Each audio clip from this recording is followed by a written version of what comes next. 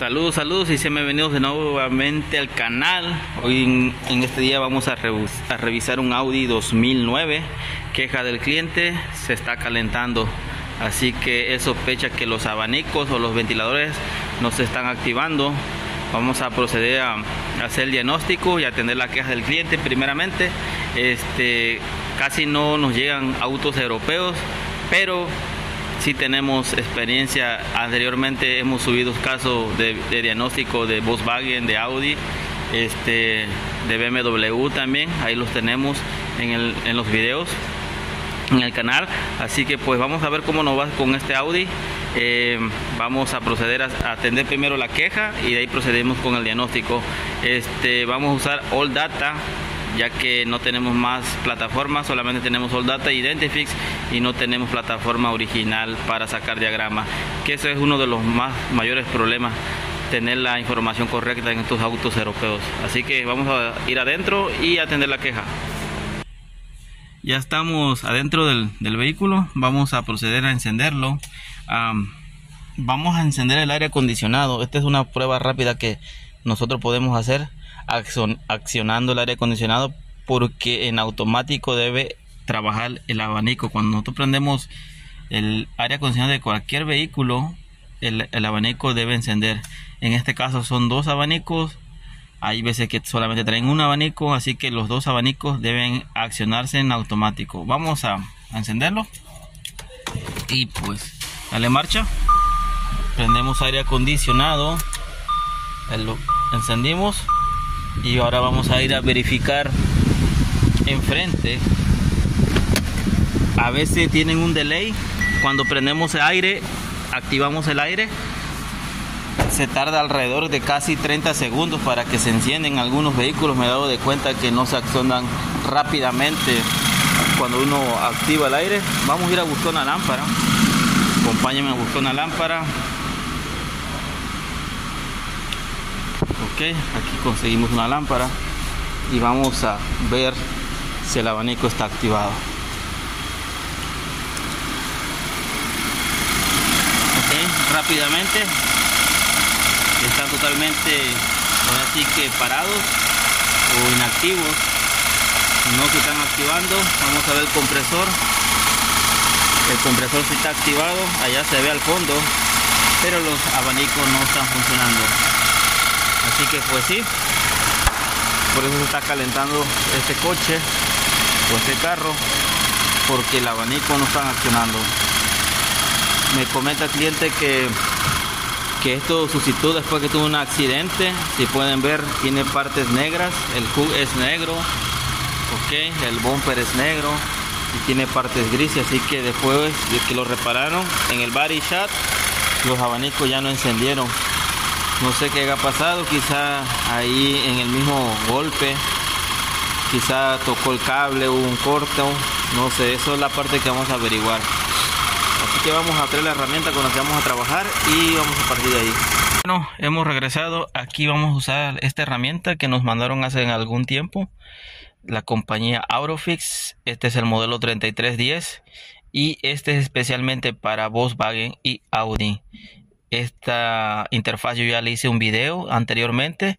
Ahí lo pueden buscar en, en mi canal. Eh, de hecho, ya resolvimos un problema en el pasado de un Volkswa- Volkswagen con esta herramienta. Así que es muy buena ocasión para ver sus limitaciones y sus aportes que puede tener en el campo a la hora de diagnosticar. Trabaja con una aplicación que se descarga en Play Store si tienen, si tienen este Android. Así que vamos a usar esta tableta que es la que siempre usamos para trabajar y vamos a, a indagar en una, en una sola herramienta vamos a hacer esto.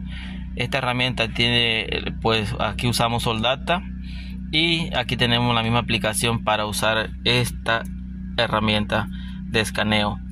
Eh, vamos a proceder a conectarla y vamos a hacer el escaneo previo. Vamos a tratar de grabar la, la pantalla de la tableta para que ustedes vean qué códigos hay de falla y cómo se conecta esta herramienta y cómo podemos sacarle el mejor provecho ya que es una herramienta muy accesible económica la verdad y solamente es específicamente para Audi y Volkswagen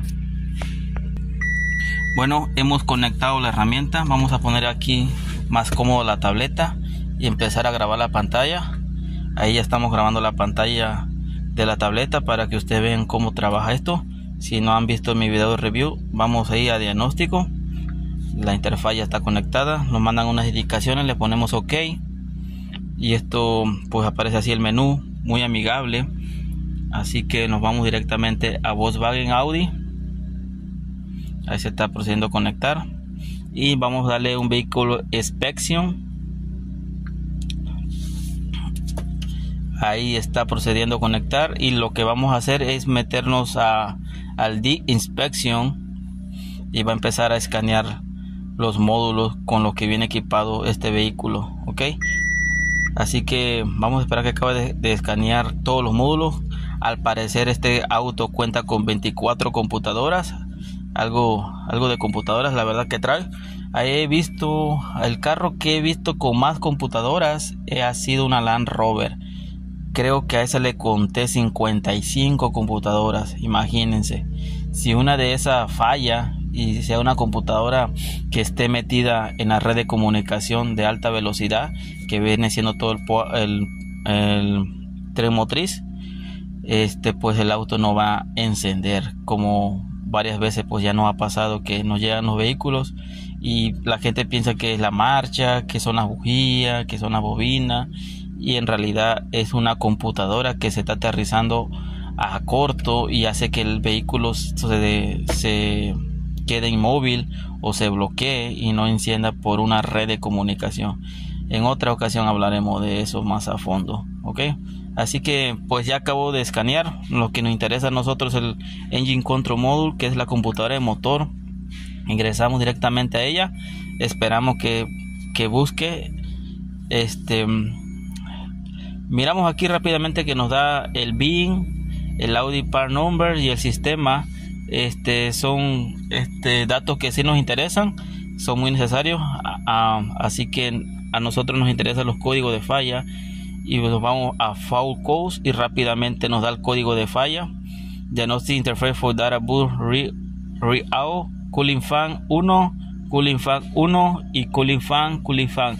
Cuatro códigos se vuelven a repetir haciéndonos clara referencia del cooling fan. Así que pues hay problemas con el con el ventilador 1, circuito bajo. ¿Qué les hace pensar cuando dice circuito bajo? Podemos agarrar de referencia el código. El código a veces nos da un norte, pero a ciencia cierta no nos dice mucho. So que la, la parte del diagnóstico que nos toca hacer a nosotros, pues hacer medidas, chequear el diagrama, ver flujo de datos en, en el escáner, toda esa parte nos toca a nosotros, así que pues es, eso ya es diagnóstico. Leer código o sacar código, eso no es diagnóstico como lo hacen ver que vas y te escanean el carro, no, eso es leer código nada más. El diagnóstico es la parte más, más difícil porque si nosotros nos equivocamos en el proceso de diagnóstico, nuestro, nuestro resultado va a ser equivocado y no queremos eso. Aunque a ciencia cierta a veces no se, se determina la falla, no se encuentra la falla aún, digamos que digamos al 100% con seguridad, sino que es haciendo pruebas, haciendo este eh, muchas pruebas con diferentes equipos, diferentes herramientas para tener una un acierto bien seguro de que ese es el problema y hay que pues estar indagando, actualizándonos también porque si no sabemos que estamos atacando y cómo atacarlo, pues si fallamos en esa parte, todo el proceso va a fallar y el auto no se va a reparar. Así que es muy importante estar estudiando y actualizándose en todos estos sistemas nuevos, complejos, la verdad, de estos vehículos, más que nada en estos Audis. Si ustedes no tienen eh, este, los conocimientos, créanme que van a batallar y feo. Así que pues, regresando, tenemos clara referencia de código de falla del, del fan. Vamos a ir a nuestra plataforma de All Data e ir a buscar ese diagrama del fan y regresamos. Bueno, de nuevo rápidamente ya estamos en, la plataforma de All Data, así que vamos a, grabar de nuevo la pantalla y nos vamos a ir directamente a lo que viene siendo el circuito del fan pero vamos a usar los diagramas OIM originales disque de Audi porque pues no tenemos no tenemos a ciencia cierta bien los datos. Siempre hay errores en los diagramas créanme. Así que vámonos directamente a cooling fan. Cooling system. Vamos a estar buscando aquí. Powertrain. Ok vamos a darle más para arriba. Powertrain ah, vamos a ver. Cooling system vamos a meternos aquí rápidamente. A cooling system y vamos a seleccionar este es un auto de cuatro cilindros. Y pues rápidamente aquí nos desgrosa el diagrama. Esta es una de las cosas que me gusta que nos da referencia porque esto se maneja un poco diferente con números y letras un poco diferente a lo que nosotros manejamos comúnmente en los autos americanos o los autos asiáticos. Así que pues dicen vamos a abrir totalmente el diagrama. Vamos a ver si se deja abrir ok por experiencia le voy a, comentar un poco aquí. Vamos a usar esto. Y acá acá tenemos un fusible compañeros. Acá este círculo eso es un fusible. Y esta es nuestra tierra la que está aquí abajo. Así que eso es tierra casi la mayoría de los diagramas aparecen mucho porque los, los positivos siempre están arriba y las tierras siempre están abajo en los diagramas. Así que esto se trabaja con un pulso modulado. Si podemos ver aquí PMW, ahí llega un pulso modulado del cable del lado del control para el abanico. Y esto parece ser nuestro abanico. Esto de aquí. Eso de ahí compañeros. Eso es nuestro abanico. Así que pues no se ve una cosa tan tan compleja. Ahora vamos a ir a, a buscar la locación del S204 para ver dónde está. Ok, aquí rápidamente lo tenemos ya, S204 y lo vamos a Fuse Location. Y aquí nos da. Esto es lo bueno de tener esta plataforma. Si ustedes son unos mecánicos serios, unos mecánicos que toman en serio su trabajo, que quieren resolver el problema, que quieren dar soluciones al, al, a los clientes, ustedes tienen que tener esta plataforma de All Data o Identifix, porque sin esto van a estar jugando al mecánico nada más. Si ustedes no tienen esto, están casi completamente pues tirando tirando este flechas a lo loco no van a saber lo que están haciendo y pues no van a saber lo que van a chequear. Hay veces que muchos mecánicos que usan estos probadores que meten tierra o corriente como el Power Pro otro tipo de probadores y andan haciendo sus quemazones porque no saber qué están haciendo. Así que es muy importante estas plataformas técnicas de información. Vamos a ver que el cable número uno tenemos el número 2 y acá tenemos el BA y el número 3 y si nos vamos desglosando más para abajo el aquí están las referencias el fuse 1 terminal 30 es para el cooling fan control y puede ser de 40 a 60 amperes y tenemos el fuse 2 cooling fan control también y el fuse 3 Power Steering Control Module para la dirección electrónica si está equipado así el vehículo. Así que pues rápidamente voy a atacar primero este fusible y de ahí si vemos que la integridad del fusible está bueno vamos a ir directo al abanico para ver si le están llegando sus referencias de tierras o corrientes. Continuamos. Siguiendo aquí con el video del Audi este, hemos removido lo que viene siendo la parte del cover que está abajo de los wipers. Es ahí donde van ubicados los fusibles y aquí lo chequeamos en el programa. Aquí nos dice la indicación de dónde están ubicados. Así que pues así que eh, habíamos quedado que el fusible del abanico era había dos aquí. En este solamente cuenta con un fusible y vemos que el, el fusible está totalmente abierto. Miren está abierto por eso no viaja al positivo hacia, hacia los ventiladores. Disculpe. Así que lo que vamos a proceder Así que lo que vamos a proceder a hacer con una herramienta que nosotros hicimos, vamos a hacer un puente, ya que es un fusible grande, es un fusible de 60 amperios, con unos cables pequeños pues se pueden quemar y pues no va a funcionar.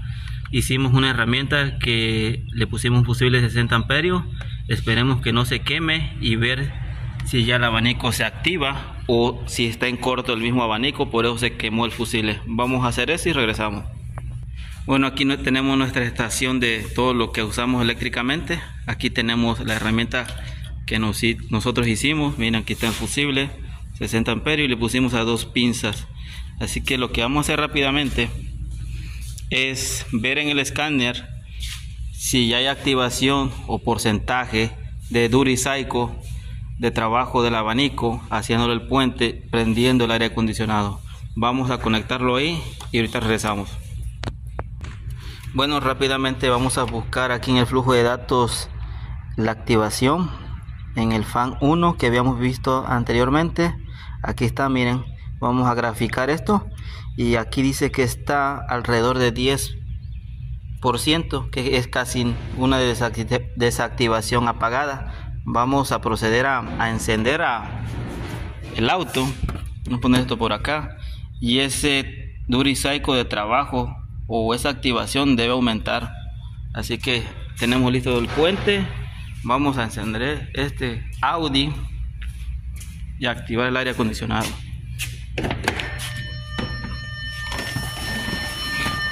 Y lo activamos.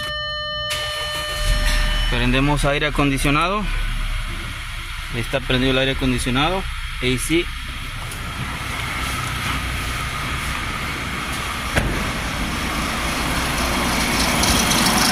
como escucha okay, vamos a prender la luz. Miren está encendido los abanicos. Vamos a ver cuánto cambió el Durisaico aquí en la tableta tenemos un Durisaico de 62% ahí lo pueden ver así que está bajando el Durisaico 46% lo está comandando la computadora 34 30 vamos a ver si el fusible no se haya quemado. Si se quemó entonces va a haber un problema con los abanicos. Los, fusibles no se queman de gratis. Así que vamos a darle vamos a darle un tiempo y ver que si el fusible se quema o a ver por qué se quemó ese fusible o si hubo un corto o pusieron la batería al revés, no sabemos. Bueno, ya tiene alrededor de 20 minutos encendido el vehículo con el abanico. No se ha apagado ni quemado el fusible. Este, vamos a hacer una prueba rápida. Aquí tengo un gancho amperimétrico que lo vamos a utilizar para medir el consumo de amperios para ver cuánto amperaje está consumiendo ese abanico. Así que lo vamos a poner en alrededor de 100 amperios lo ponemos en cero lo calibramos en cero y ponemos desde aquí directamente donde está el fusible y ver cuánto amperaje está. Creo que lo hemos movido porque se apagó. Hemos movido el conector. Vamos a tratar de conectarlo de nuevo ahí está conectado. Y ahora vamos a ver aquí cuántos amperios y alrededor de 30 30 amperios. Miren 33 amperios 34 cuando despega 35 35 amperios. Ok cuando inicia va a empezar a decaer me imagino. Así que vamos a ir a conseguir ese fusible. Parece que es un main fuse. Y pues ponérselo y estarlo manejando y chequeándolo bajo pruebas a ver cómo cómo se desempeña. Volvemos. Aquí con el Audi este pues lastimosamente no encontramos el fusible original como debe de ir pero aquí tenemos uno a la mano que nos facilitaron de 80 amperios del mismo tamaño que marca ahí en el diagrama así que pues vamos a poner esto momentáneamente ya que ya que llegue el, fusible grande ya que lo ordenamos pues le ponemos el original así que vamos a proceder a, a ponerlo aquí encima y atornillarlo y ver cómo se desempeña el automóvil y seguirlo manejando ok regresamos vamos a la parte final del Audi. Ya tenemos un buen rato este encendido el vehículo. Aquí tenemos el dato del abanico. Cooling fan 1 activación y lo tenemos al 46%. Vamos a apagar el aire acondicionado rápidamente para que vean que el porcentaje cambia del Duricycle. Ahí lo apagamos y como pueden ver, la desactivación y se juega al 10%, ¿ok? Yo creo que el 10% es el número básico, no están encendidos los abanicos, pero toma de referencia ese número, este, están apagados. Ah, vamos a encenderlo de nuevo y debe irse de nuevo la activación hacia arriba, miren, 48% y pues los abanicos están encendidos sin ningún problema. Así que pues ya tenemos alrededor de una hora con este vehículo. Va, vamos a entregarlo lo que nosotros vemos aquí que y lo comentó el cliente que él cambió el alternador y después que cambió el alternador este problema suscitó así que pues hay un claro indicativo que quizá nos desconectaron la batería. Y pues pasó esto lastimosamente chocó el cable a tierra o hizo contacto a tierra y ese es un cable main que viene del alternador de la batería. Así que pues ahí hubo un corto. Así que ya tenemos un buen rato y no se, no se ha quemado el fusil ni nada. Vamos a dar esto por terminado. Recuerden no olviden suscribirse al canal darle dejar un like al video dejar su comentario. Aquí estamos. Es viernes ya mañana pues el último día del trabajo es sábado y ya estamos por irnos. Saludos desde Houston Texas la tierra espacial